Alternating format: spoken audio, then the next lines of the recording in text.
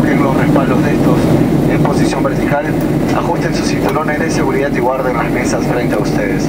A partir de este momento los artefactos